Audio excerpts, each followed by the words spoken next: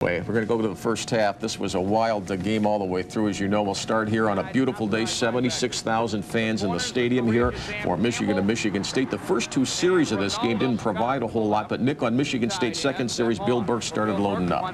Well, you know, it was our plan in the game to get the ball to Plaxico Burress down the field. Uh, we hit him on a couple out routes. We hit him on post corners. We hit him on nines. Uh, so these were all big plays in the game. They had a difficult time covering them. Uh, they have a great zone blitz package, but you play three deep with it most of the time. Now, Paul has his first miss of the season. Uh, he didn't hit this one real well, but uh, Paul's an outstanding kicker, and you can't make them all. All right, now the Spartans come back. They didn't quite get it, still no score. And here again, Michigan State's on the attack through the air. Well, this is probably one of the most underestimated parts of our team is the play of our tight ends in terms of receiving and blocking. But this is a big one here, the flea flicker. People say, where'd you get that play? We have a certain amount of trick plays that we always work on, and this is one of them. And uh, Morris Watts did an outstanding job of picking the exactly the right time to call it. You tend to use these early in the game rather than late in the game because you used a play like this against them a couple years ago. Well, I, I, think it's best to take shots in a game when you have decent field position and the down and distances is, is right to do it. So uh, that's probably something we didn't do enough of early in the year, but uh, did a good job of yesterday. Okay, and then T.J. Duckett cleans it up, and Michigan State's on the board, 7-0 first quarter. Well, T.J.'s done a good job for us in short yardage. He had a couple key runs yesterday, uh, trying to get over a sprained ankle, and hopefully he'll get better this week. Okay, near the end of the first quarter, Michigan on the attack. Tom Brady starts to move. David Terrell had 10 catches. Here's one for 16 yards. Well, we, we felt a tremendous amount of respect for Terrell in the game. Um, they, they came out in three wideouts early, and then they stayed in regular because we put some pressure on them. Now, we were lucky on this one to get a sack because we were in man-to-man -man coverage here. This was really a reverse pass. We turned someone loose down the field. Um, but we made the sack. All right, and this Hayden Epstein, man, he kicked the snot out of that thing. This was a great field goal. It was 55 yards.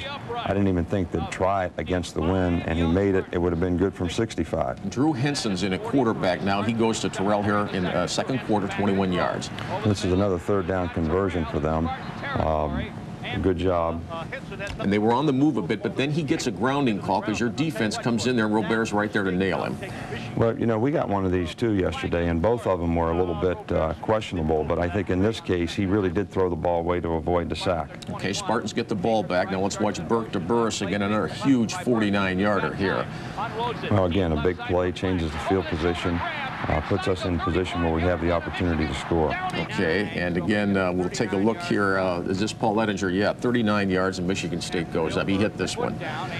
Well, it was a, it was a good field goal. Um, Paul missed two yesterday. First two he missed all year, but he made that one, and that was an important one. Now, you don't like to give up big plays, and here's the big play that Michigan had here. Got him right back in the game. Well, this is a third down situation. We actually have both these guys doubled, if you can believe it, but the guy runs right through the double. Uh, Knight's got good speed. Um, Newsome probably should have just tried to tackle him here. He was out of phase on the guy, which means you shouldn't go for the ball.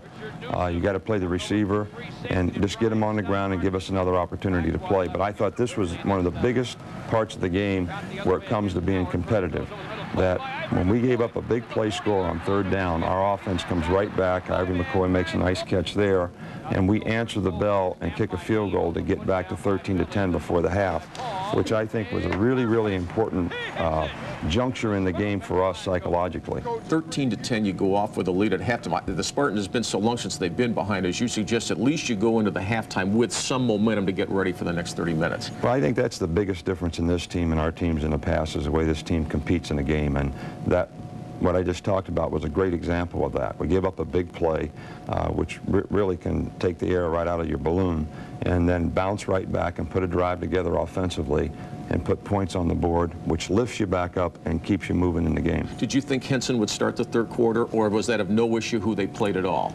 Well, I, I wasn't really concerned about it. I, most of the time they put him in, and then they come back with Brady to start, and then sometimes they put Henson back in. So I didn't know how they were going to manage the situation. It really didn't make a lot of difference to us. I don't think there's a big change. I think Henson's a little better runner, uh, but Brady does a great job in the pocket throwing the football.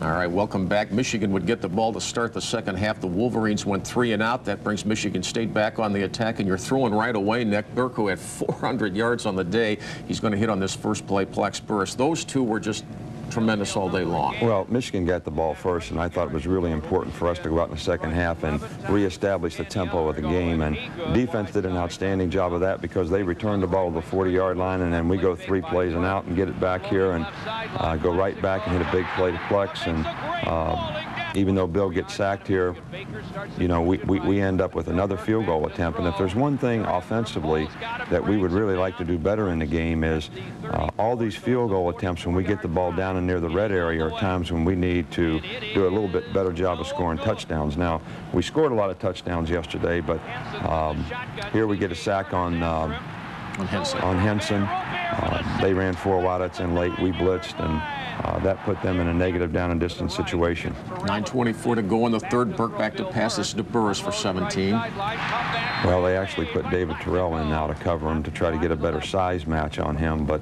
uh, we, we hit the out route. And Clemens had two runs for nine and seven. On a day with not a lot of rushing, there's two back-to-back there. You know, we run, ran the ball for almost 100 yards in the game, and our offensive line did a good job in pass protection and offering that mix.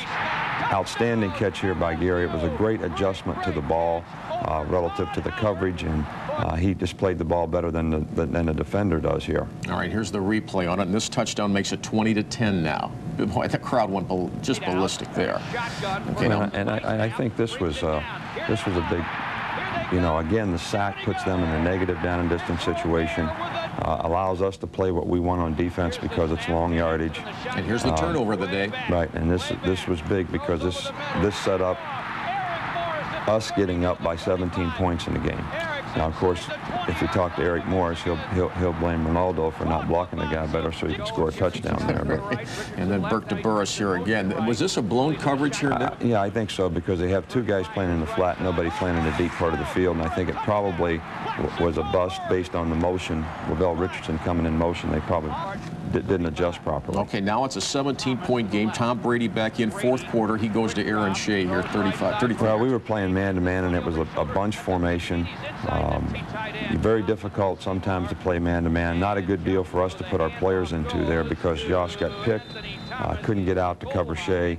Then they run it in, um, which is our first, giving up our first rushing touchdown of the year. in the sixth game, the first rushing touchdown, 27-17, but you don't sit on it. To Scott, 35 more yards. Well, I think this was critical in the game, too. I think our offense did a great job of, of coming back in the game every time we needed them to. Uh, and this was an example. They go 27-17. We come right back and answer uh, with a touchdown to get us ahead in the game, uh, again by 17 points, 34 to 17. That's Dewan Moss. Okay, so he runs it in there, 34-17. Great run. Crowd loves it again, but there's still 12 minutes to go. Michigan would not just go away. Brady tonight here, 26 yards. Well, I think Michigan has outstanding receivers and an ability to throw the football. That's one of their strengths. And uh, we got tired in this juncture in the game. We played three series of what amounted almost to two minute. Here, Terrell runs a double pattern on Cedric Henry. Uh, should have stayed outside technique on the guy, but he bit inside and got beat for a score. 34-24. Michigan gets it back. Brady to Walker, 37 more yards. Well, here we're, we're playing a zone, and you don't want to give up big plays in a two-minute situation, and that was the tough one in that drive because this turns out to be a 96-yard drive. Here we're playing man-to-man. Um, we don't get to the guy that catches a screen, and they, they, they, they go in to score. Okay, so now it's 34 to 31, but Plax is the Johnny on the spot again. And that pretty much ended the game right there on the onside kick. Well, it was very important to get that onside kick, but it was even more important for us to finish the game on offense here. Uh, with a three-point game, you don't want to give the ball back to Michigan, especially with any kind of field position, with a guy that just kicked a 55-yard field goal. Uh, so this was a great catch by Plax. Great job of getting his feet down uh, to give us the first down we needed to, to take the air out of it and, uh, and milk the clock.